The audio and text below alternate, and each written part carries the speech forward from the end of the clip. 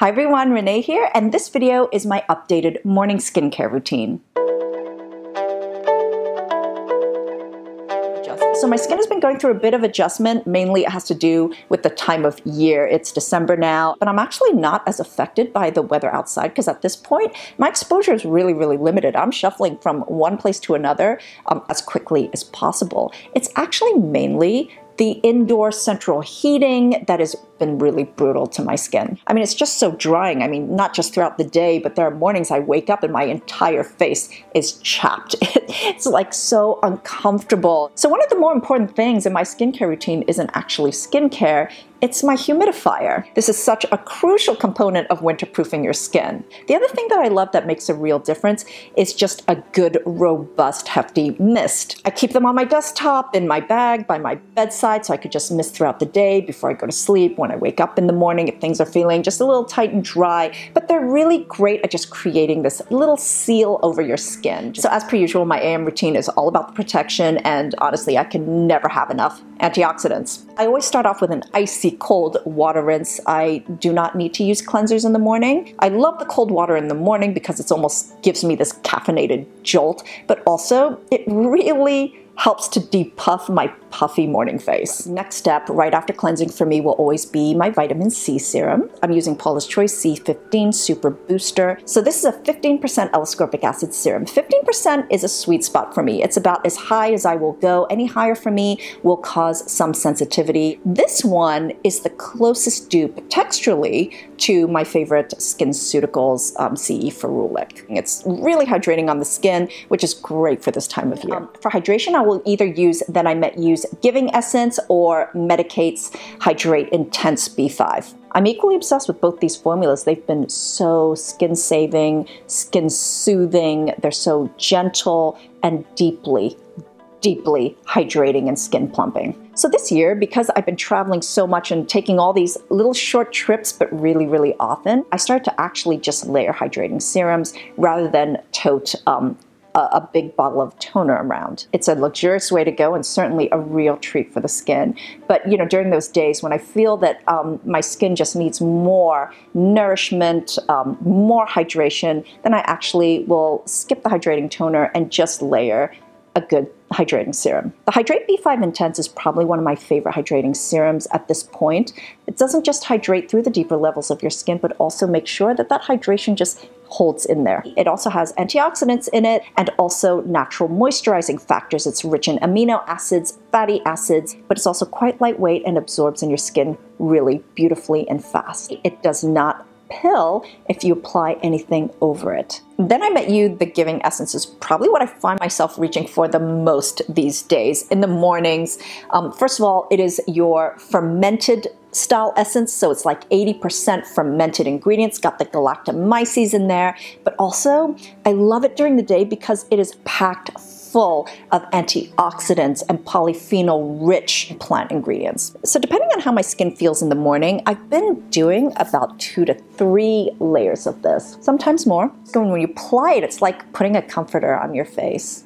This plumps my skin out, gives it some brightness so it's not so dull looking. Um, and it also really creates a nice smooth texture and also it does not pill. The step that makes me feel like I'm really treating myself is the oil serum step. You guys know I love my oil serums. And this step, I feel like it's just really helping me seal all the hydration into my skin, but also I feel like the hydration is also helping all the nourishment of your oil serum kind of sink in and absorb into your skin as well. At this point, this Votary Superseed Facial Oil is just such a staple for my skin. It's always gonna be um, in rotation. But a recent favorite of mine is this one from Supernal, their Cosmic Glow Oil. It has such a beautiful fresh scent. Immediately, I could smell the blue tansy and the chamomile.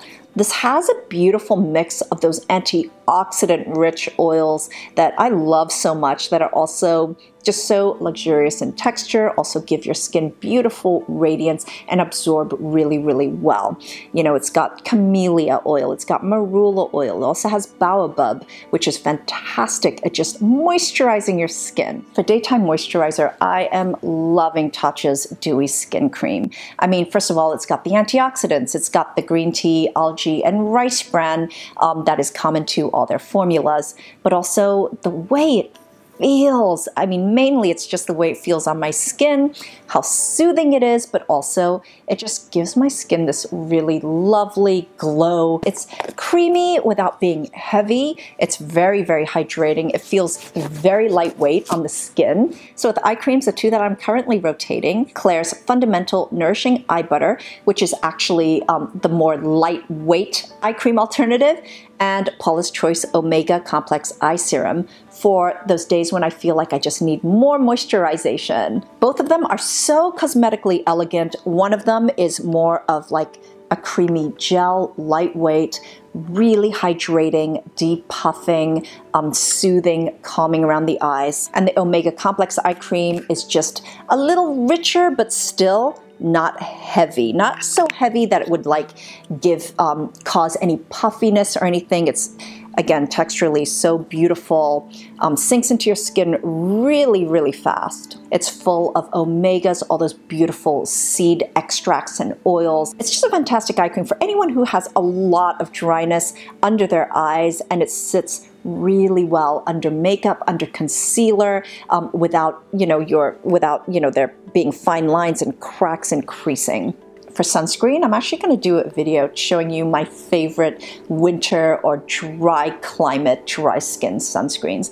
But um, right now, my favorites that I'm using all every day are obviously Klairs Soft Airy UV Essence and Evy's Daily UV Face Mousse. My exposure to the sun really is very much more limited um, during this time of year, especially because it starts getting dark at around like 2 p.m. Also the dry touch finish sunscreens that work well for me during the summer right now have this ability of making my skin look like it's cracking sometimes. the Klairs sunscreen just gives the skin that beautiful sort of silky finish that's not greasy and I feel like it really keeps the skin hydrated and moisturized throughout the day as well. It's a fantastic final winter layer um, so your skin doesn't dry out if you're exposed to the elements. It's got that wonderful creamy gel texture to it. It's also just so nourishing. The other thing I love about this is it doesn't pill and it doesn't move around. So it sits under makeup really, really beautifully.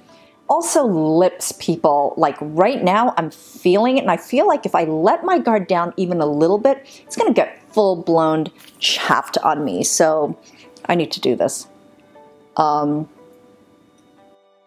to me, when it comes to winterproofing your lips, the Fresh Sugar Advanced Therapy Lip Treatment is so good. It is so intense. This is when you need something that's not just going to heal and nourish your lips, but also protect it. But this has made such a big difference to my lips in bringing them back to normalcy and health after being severely chapped and peeling. That's my winter morning routine, guys. Thank you so much for watching. And until next time, I'm wishing you great skin health. Bye.